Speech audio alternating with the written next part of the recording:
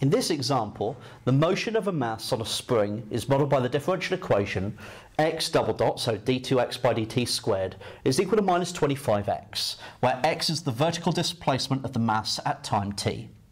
Part A, find the general solution of the differential equation.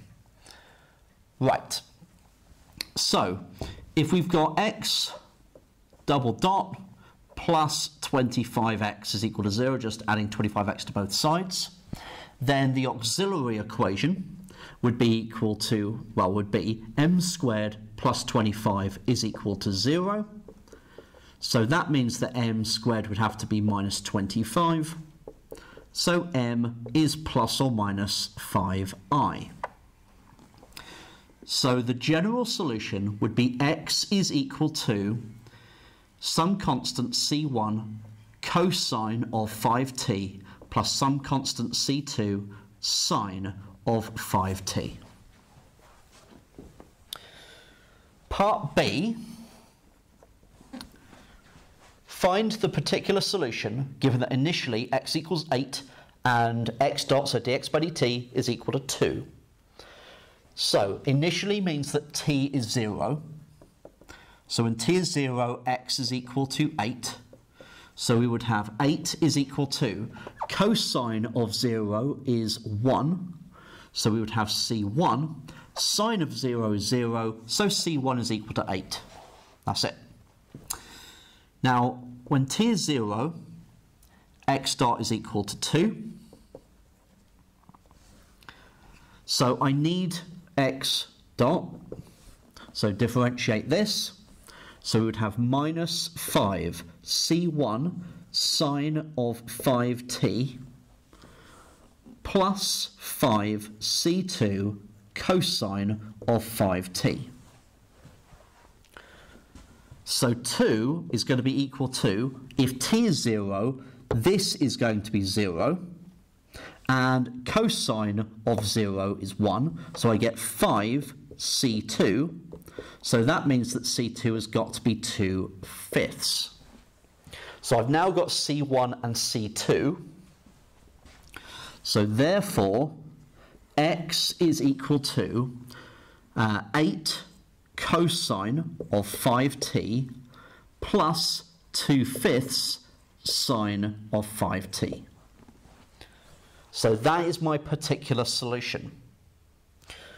Now the next bit, write down the period and amplitude of the motion. I can't do that initially, or straight off the bat, without writing it in harmonic form, in the equivalent form. So, 8 cosine of 5t plus 2 fifths sine of 5t is going to be equal to a times sine of omega t plus epsilon. Now, of course, the omega here is going to have to be equal to 5.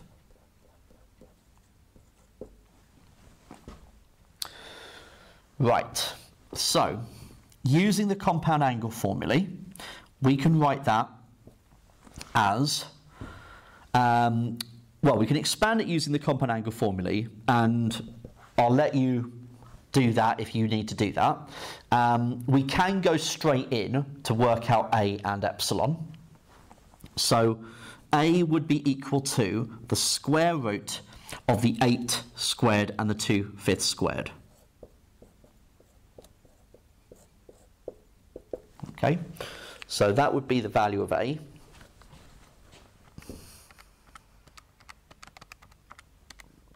So we should get 2 fifths of root 401.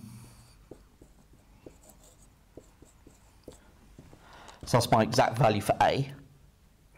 Then epsilon, well, tan of epsilon is equal to the C1 over the C2.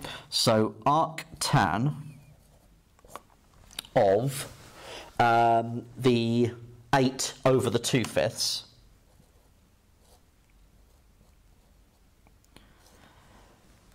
Now, as I said, if you're a little bit unsure about getting this the right way round, then use the compound angle formula and do it step by step. Okay? Um, because what you should get from that is that the 8 is um, a times um, it'd be the a sine of epsilon. And the 2 fifths will be a cosine of epsilon. So you need the sine one divided by the cosine one to get the tan one. So the 8 divided by the 2 fifths. Okay, so you can kind of, you can try and do the stages in your head if you like. So 8 divided by 2 fifths is 20. So this is arc tan of 20. Now make sure you're in radians. We should get 1.520837931.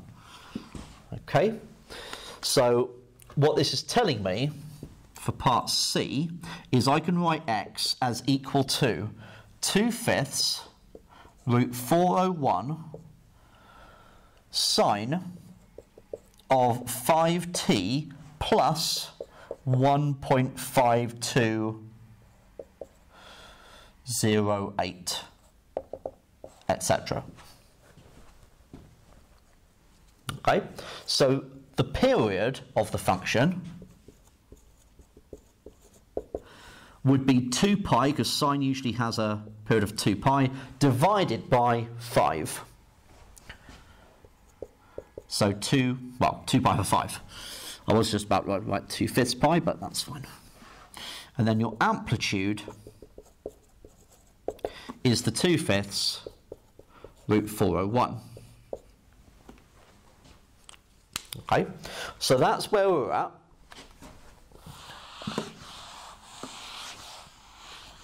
Now, sketch a graph of the solution. Now, of course, this is easier when you've got a graphical calculator, okay? But we're going to give it a go. Here's t and here's x. Now, the first thing to note is you probably want an idea of where you're starting. So when t is 0, remember, um, x is equal to 8. Okay, that's what we had up here. So when I substitute t is 0 into this, I should get 8. I mean, you can, you can check that if you want. Nice little check. Okay, so if I just put in 1.5208, I get 7.999984822, etc. Okay, so yeah, we're starting at 8. And you might want an idea of what 2 fifths times root 401 actually is, and that's 8.00993758. So it's very close to 8. So actually the curve does something like this. Okay, so it's going to go, if I want it, something like that. That's going to be a 2, not 2 pi, uh, the 2 pi over 5 rather.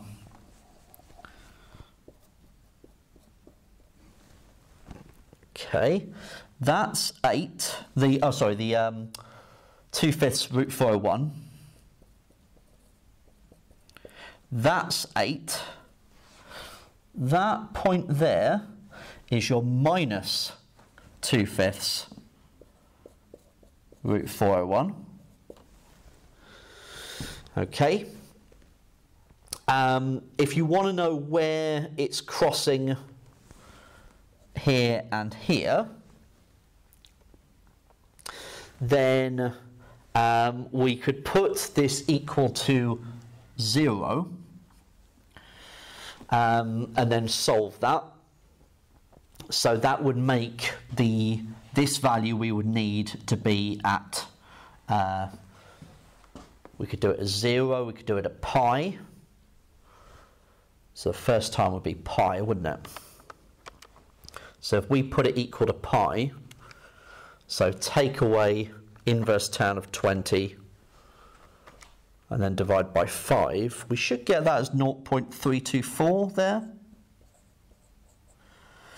And that point, if I put it equal to 2 pi, so I'm just putting what's inside this bracket equal to pi to get that, and equal to 2 pi to get the next solution.